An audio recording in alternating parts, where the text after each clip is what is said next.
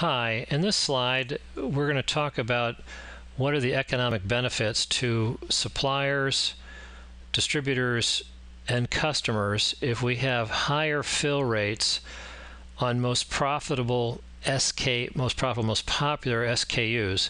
Later on, we'll actually see a case study we have, uh, you know, hard economic numbers on the, the, the delta PBIT that results from this. But for right now, I want you to think about um, if we had beefed up the number one item so that when when people ask for it, we have it, that would suggest that that demand then goes to that number one brand. It doesn't get shared out to the other brand.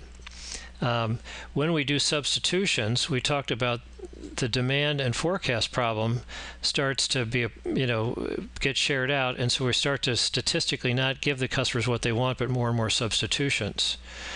If we have back orders, then we have twice the transactional cost. The customer has twice the set of paperwork and maybe a delay of whatever they want to do with their product. So what happens is um, the uh, you know everybody loses there. If we if we have higher fill rates, our split shipments and the activity costs for those split shipments that also goes down. Uh, if we have higher fill rates, the the split orders, which give delays for the customer, will go down, so the customer has fewer delays. If we have higher fill rates, personnel productivity goes up because we could say, yes, I have it, as opposed to, well, I don't have it, but let me scramble and do workarounds. Uh, how about we do the substitute, uh, or we'll do the split shipment, or we'll back order and create twice the paperwork and activity costs and so forth. And morale goes up because we just it's it's just our job is easier our average gross margin dollar per line item goes up because we don't have split shipments, split split line items. So we have half here and half from somewhere else, or half here and half back ordered. Um, so our picks, picking productivity in the warehouse goes up. Our gross margin dollar per invoice goes up. Uh, our gross margin dollar per stop of the truck goes up.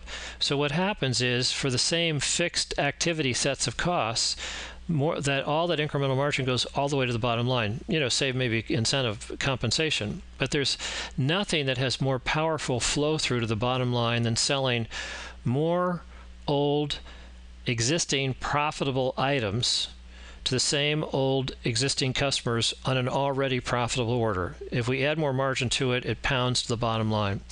So later on, we'll look at a specific case study on selling uh, more core items to more core customers on a larger line item order size basis in the uh, the Go Deep LIPA section. Thank you.